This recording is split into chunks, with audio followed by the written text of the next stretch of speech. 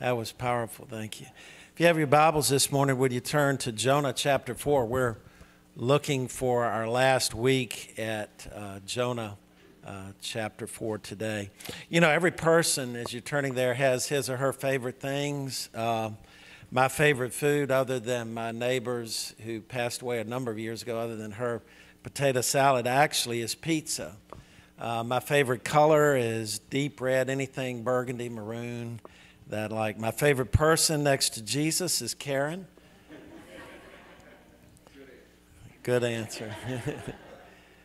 my favorite time of year is fall. Today is the first day of fall. I love fall. I just my favorite holiday, if you know me, is Christmas. I get excited. I'm already reading a brief little novel about Christmas. Uh, it's sort of a girly novel, I'm sorry to tell you. But uh, if you know me also, you know my favorite sport. I don't even need to ask. Uh, it's basketball. Uh, back in 2018, um, I was at the doctor in Lynchburg, and uh, he said, You're done. He said, uh, you can't play anymore. I was 53. I felt like I played pretty competitive up to the end. I played with Sam and Mark. They might differ, but um, the doctor was saying if you keep playing within five to 10 years, you're going to have ankle replacement. Well, I'd never heard of ankle replacement since then. I've heard a couple of people who have had it. And so I took his word. But as I was sitting there and Karen was beside me, I said, You don't understand. I've loved basketball longer than I've loved my wife. I chose my adverbs carefully longer, not more, all right? My favorite trip was Italy with Karen that this church uh, gave us. What a wonderful trip. So many fond experiences. I love going back and looking at pictures. Uh, I don't have a favorite child. I have three children. I do have a favorite daughter, Whitney, but she's my only daughter.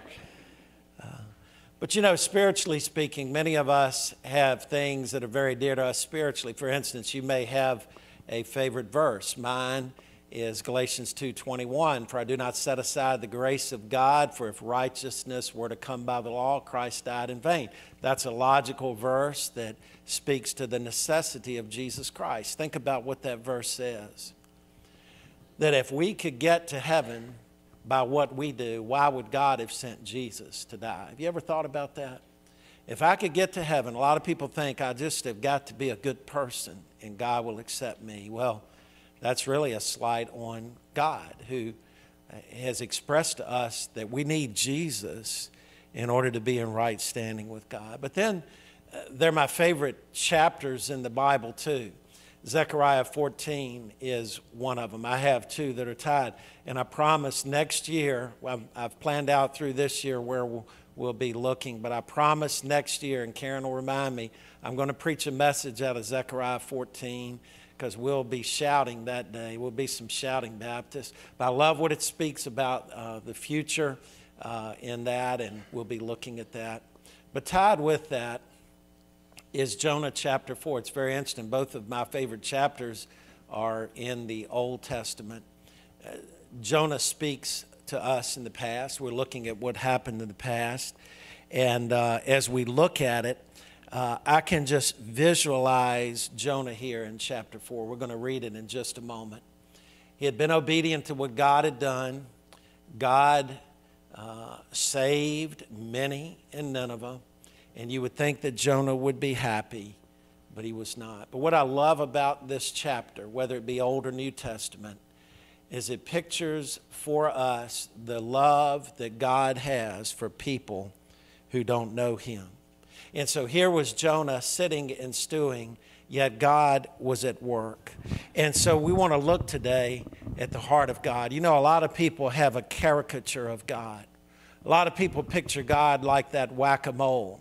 He's just waiting for people to get out of line and he's going to whap them. And so, so many people live in fear. Their, their motive for trying to live can be in the flesh, and they're just going around all the time seeking to try to appease God in their own strength.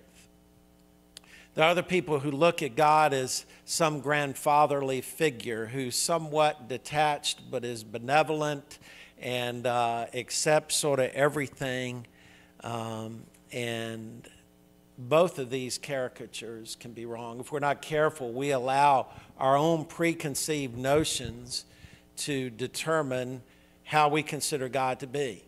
That's why we need the Word of God, and that's why we need chapters like Jonah chapter 4 that give us a glimpse at the heart of God. And so, in this chapter we're getting ready to read, we're going to see how he works in nature. We're going to see his dialogue with Jonah as he takes Jonah to school.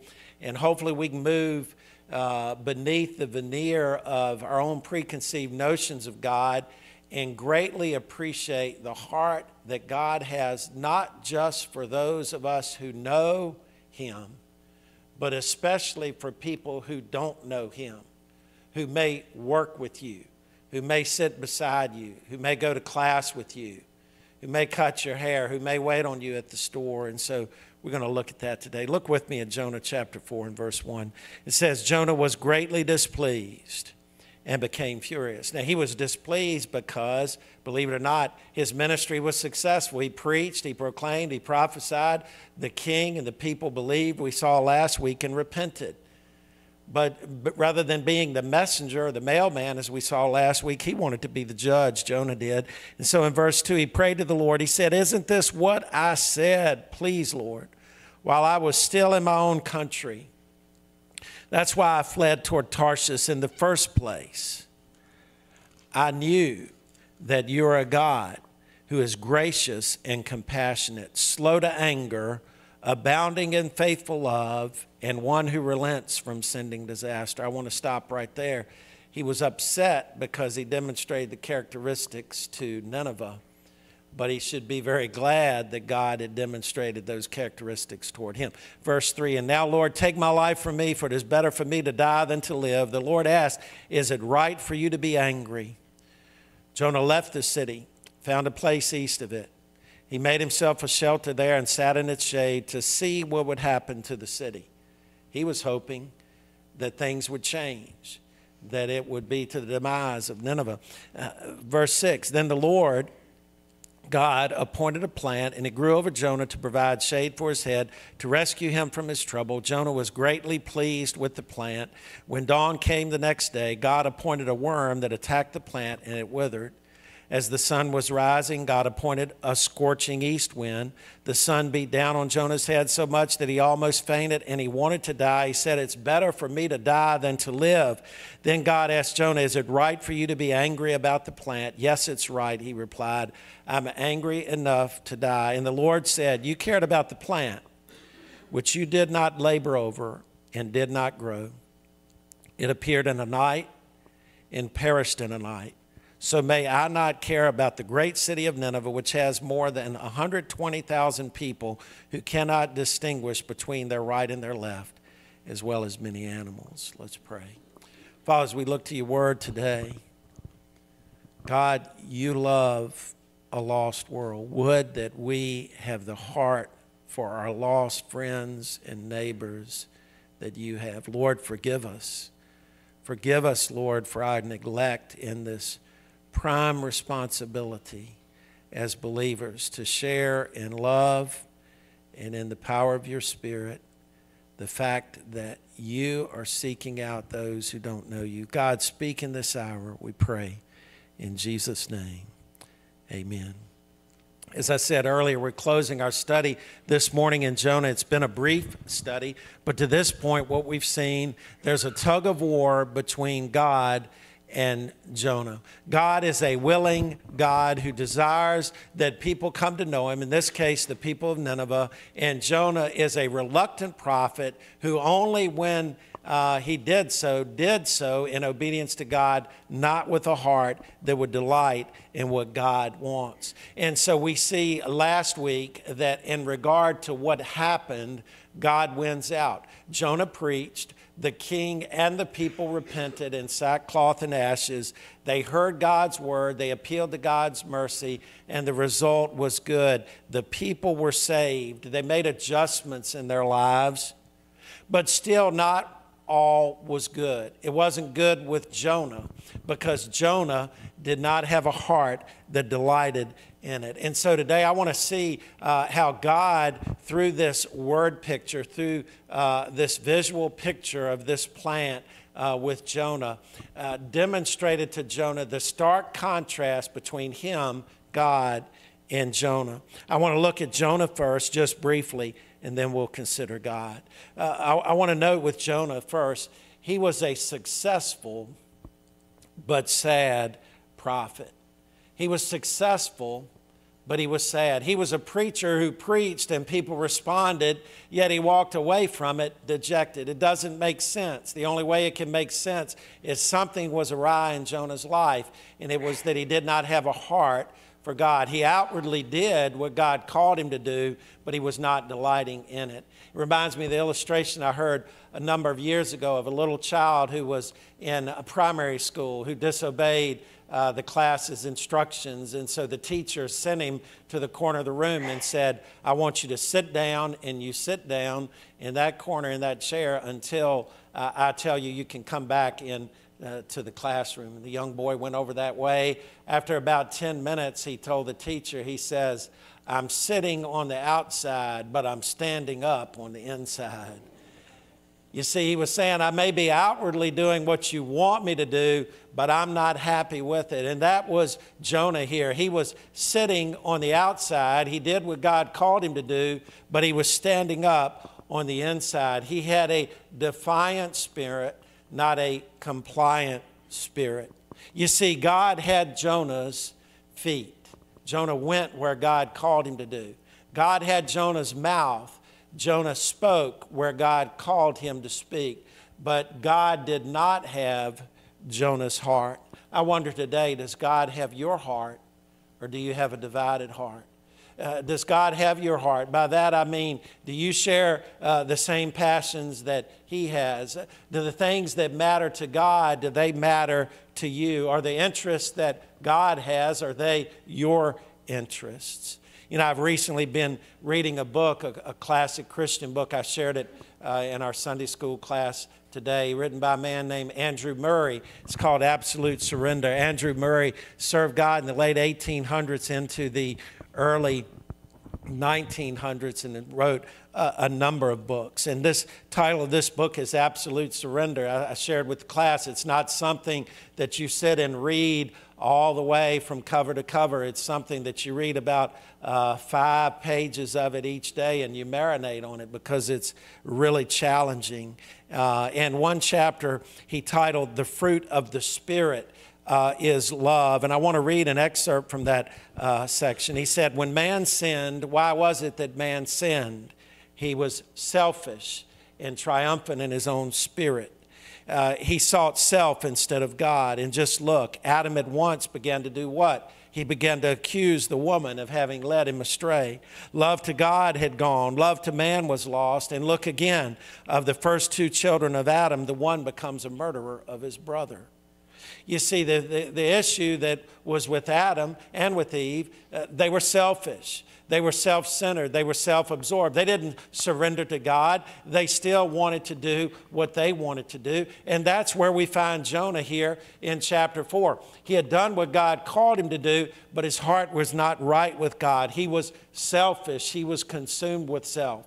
You know, we read through this entire book in Jonah chapter 1. He was disobedient to God at that point, yet what did he want to do? He wanted to take a nap in the belly of the fish. We see it even uh, when he's in the fish. He's crying out to God, but it's almost like he's crying out to God because he wants relief. And then we read the testimony and he's saying, What? I, I, I. They're like 20 some times that he's talking about himself. And now, after he had preached, rather than having a heart, for the people of God and, and, understand God's word was looking was working like yeast through a batch of dough in that city. It was moving from person to person and amazing things were happening. Yet instead of being there in the midst of it and enjoying it, he determines to go outside of the city upset.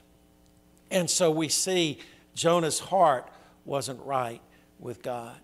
God accomplished what he wanted through Jonah, but it is a sad state of affairs to look at Jonah's life and realize that he missed the blessing of being an instrument of God.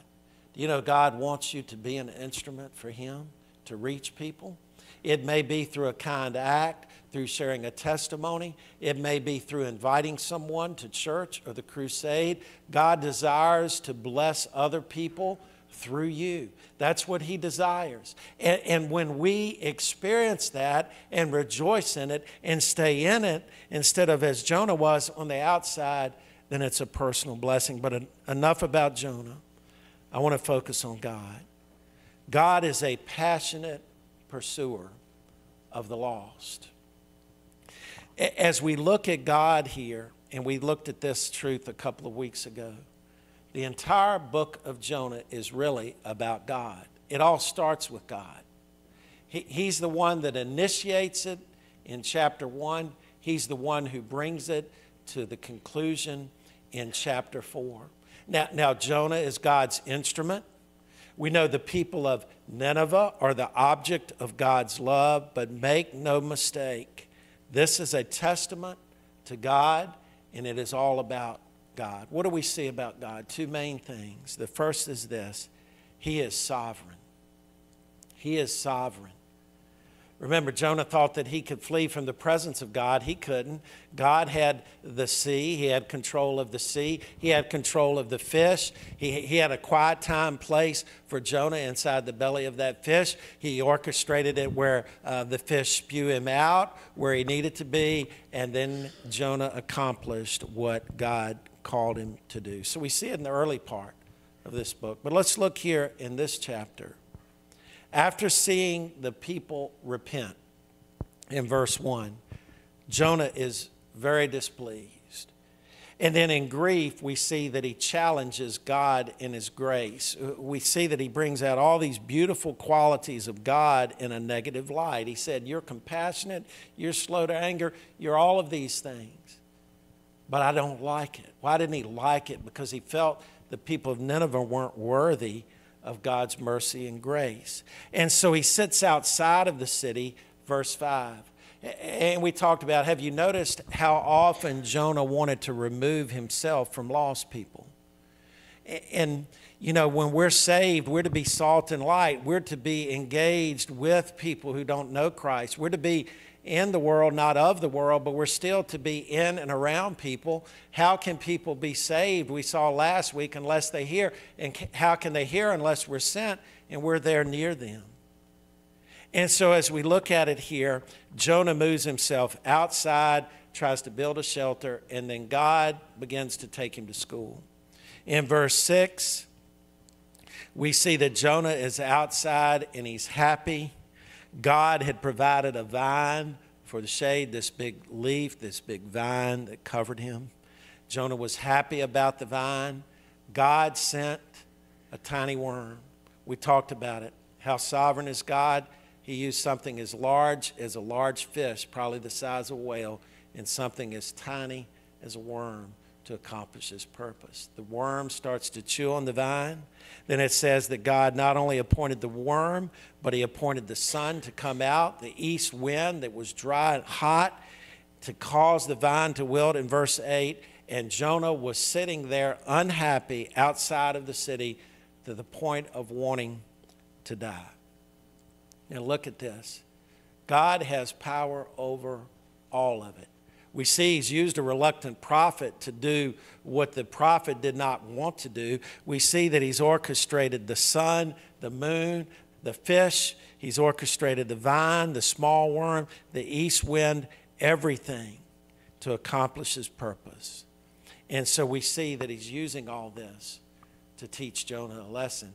He used the fish, he used the tossing of the sea, he used the darkness inside the belly of the fish, and all of that in order to, to get the word, to get Jonah to the point where he would share. And now he's ready to teach Jonah.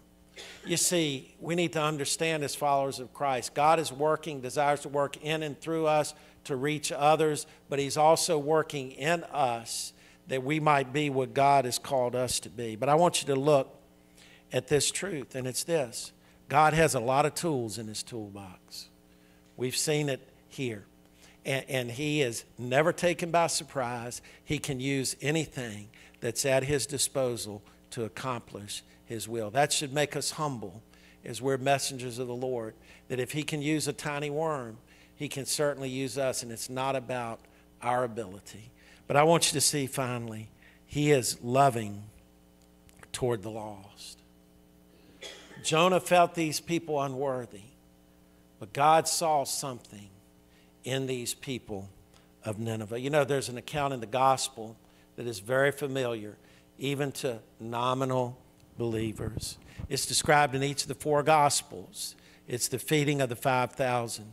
But like in Matthew's account in chapter 14, it says Jesus says he had been there a lot of the day. It was long, a long day, that he had compassion, compassion on the people. He looked out over the crowd and he had compassion.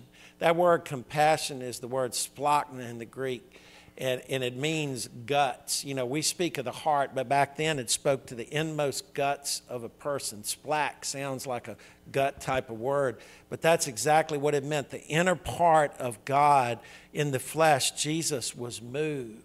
And so evening was approaching, and there was a large crowd, and they weren't near anywhere to eat. They were in a remote area, and, and Jesus said it was time for them to eat, and the disciples would say, Let's send them into town and they can get and come back. And Jesus said, No, you feed them. And he took the few fishes and loaves, he multiplied, and he fed the people. You know, we rightly focus on this miracle. It's one of the great miracles of the Bible. But what we really miss, if we're not careful, is the heart of Jesus. That he had compassion on people who were there to listen to him. Why are we to share Jesus? Because people matter to God. We should witness because we want to be obedient. God calls us to witness. We should witness because people need to be saved. Do you realize that there are people that may work with you that if they have not trusted Jesus Christ as Lord and Savior, they will spend an eternity in damnation, separated from God, in a place that the Bible calls hell? And the, the hell is addressed a number of times by Jesus himself. It's a very real, real place. It's a very real experience. And we need to witness to people because we love people and we don't want to see them go there. We also need to witness because people matter to God. So God moves from the object lesson to direct dialogue beginning in verse 9 and he's taking Jonah to school. Jonah knows the what. He carried out the what. That was preaching uh, the word to Nineveh. Now he's getting to understand the why. And so as we look here in verse 9, God asked Jonah, Is it right for you to be angry about the plant? Now, God had provided the plant, and it gave Jonah great comfort. And then God took away the plant. He said, Is it right? And of course, yes, it's right, Jonah said. I'm angry enough to die. And then class is in session. God says in verse 10, And the Lord said, You cared about a plant which you did not labor over, and it did not grow. It appeared in a night and perished in a night. So may I not care about the great city of Nineveh, which has more than 120,000 people who can't distinguish right hand from the left. Some people would say that would be children. I believe he's spiritually speaking. There are 120,000 people. They have no spiritual understanding at all, as well as a number, a number of animals. And so he's using that plant as an object lesson. Jonah was delighting in the plant while he was upset over the success of his ministry, over people repenting. He, he was consumed with the plant. You know, I was thinking as, as I was studying that this week about the things that really consume us. And I thought about there's the plan of five. What really lasts? All of these things that we're doing, what really lasts? In other words, the five test is this Will this really matter in five minutes? Hmm, it may or may not. You, you, may be upset about something and you're worked up about something, and then five minutes later, that thing is in the past, and you might think, why did I, why was I concerned about that? What about five hours? Five days, five months, five years? What about 50 years? If you're my age, all likelihood, you won't be here in 50 years unless you're one of the oldest people. The things that you're motivated by, the plants in your life that you say, oh, this is so important. This is important to me, to my comfort, to my well being. What will it matter in 50 years? And then 500 years. We're getting ready to celebrate 175 years. There were a lot of people who invested faith in order that we would be here. I'm sorry to say, I don't know their names. I don't know their stories. I hope to learn, but even if I learn, they ran their race and their race is finished. You know, many of us, we're concerned about the plants in our life, what's happening now, and we're not concerned about the kingdom of God. God said, Lost people matter to me. Should I not care for them? Real quickly, what did we learn from this? today. The first is this God has a vested interest in people who are created in His image. And He doesn't qualify that because all are created in His image. He doesn't say, This side of the tracks I love, that side of the tracks I don't love. He cares about all people the poor and the rich, the young and the old. You know, back in the founding uh, days of our nation, Deism was a prevailing philosophy or wrong theology, and it was this thought that there was a God, but he was detached, is detached from people, that he was like the great clockmaker. He wound the clock, created it, wound it, and left it to itself. Nothing could be further from the true God we see in Jonah chapter 4. He wasn't some disinterested clockmaker.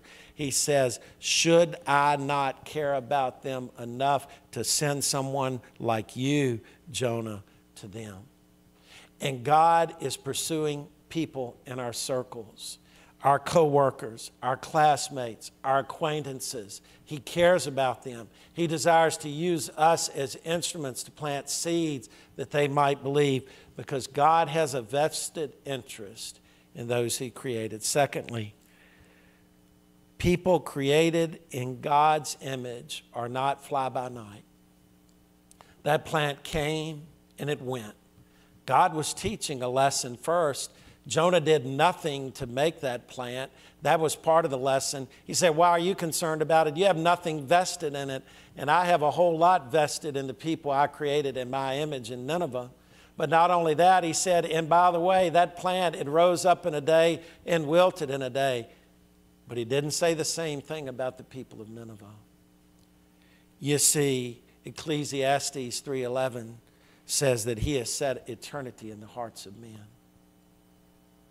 There's eternity in the hearts of men. We all want to live forever. That's why when we preach the gospel, uh, even by somebody who would rebel against God, if you say, Would you like to live forever? Or would you like to know that when you die, it's all over? There's eternity in people's hearts. If they are honest with themselves, they want to live with ever. Only a fool would say, I don't want to live forever. God has placed eternity in people's hearts, and people will exist eternally. I used to think that only the saved will exist eternally. The Bible doesn't teach that. Believers will exist eternally in heaven, in eternal life. Unbelievers will exist eternally in hell, in eternal death. Now, death is defined far more than we often do. Usually we think of death as punctiliar and that's it. Spiritual death is different from physical death. The Bible teaches about an eternal separation from God. And this matters to God because people are not fly by night. You may be frustrated with that coworker. You may be flustered with uh, efforts that you've put towards someone, but those people matter to God.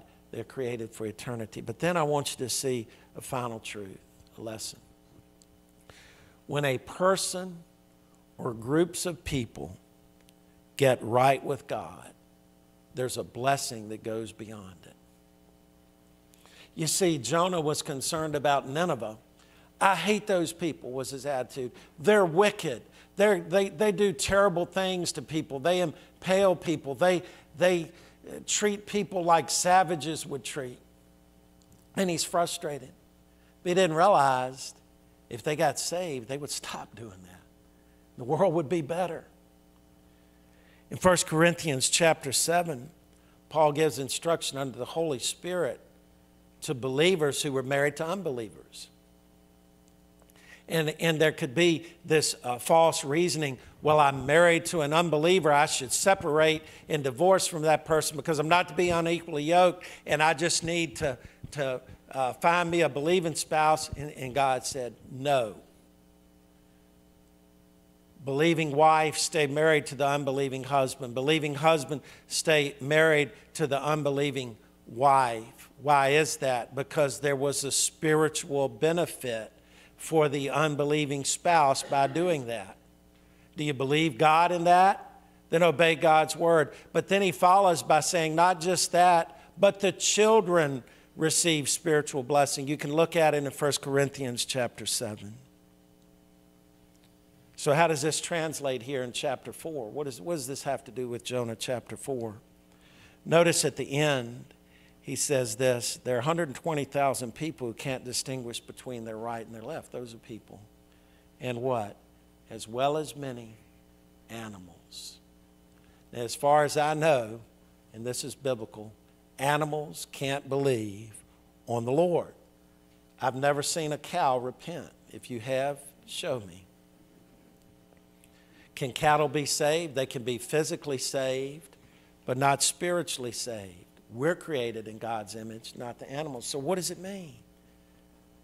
What we can conclude is this when a person is saved, it makes a difference in that family.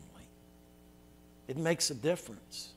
Even to people not directly affected by it, there's a direct effect. And, and when, a, when a community, when a community believes, then there won't be as much crime. There'll be more righteousness. It has a rippling effect. And we see here for the people of Nineveh, not only were they saved, but it was better for the animals. It was better for the environment. And when people come to know Christ, it leads to better families, better schools, better workplaces. When a person believes unto the Lord Jesus Christ, that individual is restored to right standing. And if we have enough of them and enough of us, it will restore a community, a state, a nation, a world. We're entering a political system, everybody uh, in a political time. Everybody has their opinion. Let me tell you, there's one righteous, there's Jesus. And, and, I'm not telling you not to vote. Everybody should vote. We're biblically mandated. But I'm going to tell you, no man or no woman will right this nation. The only one that will do it is Jesus Christ. Because when people get right with Him, then society gets right. That's why I'm excited about this crusade that's coming up. What God's preparing to do beginning next Sunday night. About six or seven different counties coming devoted to hearing the Word of God. Unlike Jonah, there are a lot of people willingly and excitedly trying to see what God is going to do. I read on social media, and maybe you did this week if, if you've joined uh, the Southside uh, uh, Rick Gage Crusade. The group from Mount Airy a couple of weeks ago, they're so excited. They're driving up, I think, at least one night to be a part of it here. You don't think God's working? People don't just drive across the state line for just something that's average, there's an excitement we need to be there. We need to invite people. Even if we invite people and they don't come, we need to be there praying, God, convict hearts. Whether it's somebody we look across and we say we know or we don't know, we're praying that people would believe. You know, I began this message by talking about my favorite things. You want to know one of the favorite things of God? It's this. It's this. When somebody get saved. When a community sees a number of people get saved. It moves the heart of God. How do we know it? Jonah chapter 4 proves it. Jonah 4 tells us people matter to God. Even the people that we consider to be unworthy of His grace, He reaches out to. Let's pray. Father, we come to you today with open hearts.